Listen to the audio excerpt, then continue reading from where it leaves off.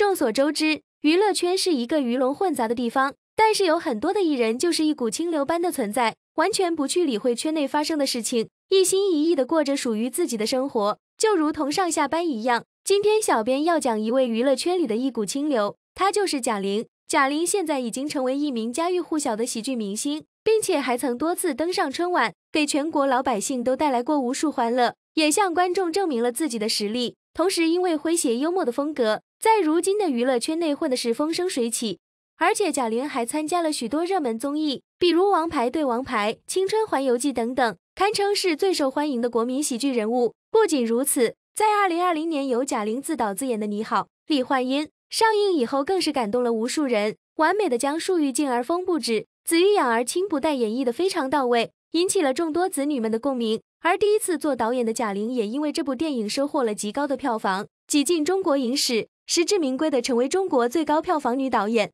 正是她不忘初心的努力，对表演欢乐的一片赤诚之心，贾玲才能有所成就。了解贾玲的粉丝们都知道，贾玲一路走来也是非常的不容易，吃了很多苦。因为贾玲的父母都是些普通的工人，对于她在演艺道路上没有任何帮助，一切都是靠贾玲自己奋斗得来的，实属不容易。贾玲的颜值虽然不是很高，但是贾玲笑起来的时候，嘴边两个小梨窝。可以给人留下深刻的印象，让人觉得十分甜美可爱。娱乐圈中有许多人评价过贾玲，却没有一个人认为她做作。贾玲本身情商就很高，总是乐于帮助他人，这样坦率真诚的性格从未得罪过别人。虽说如今贾玲的身材也是受到了不少人的吐槽，不过她却毫不在意这些，依旧是发挥自己的优势，给更多的人带来笑声。但在最近，一则热搜引发了广泛关注，那就是贾玲瘦了。据报道。贾玲成功减肥，减重超过了一百斤，这一消息让很多人惊叹不已。因为贾玲之前的体重一直是她备受关注的焦点之一。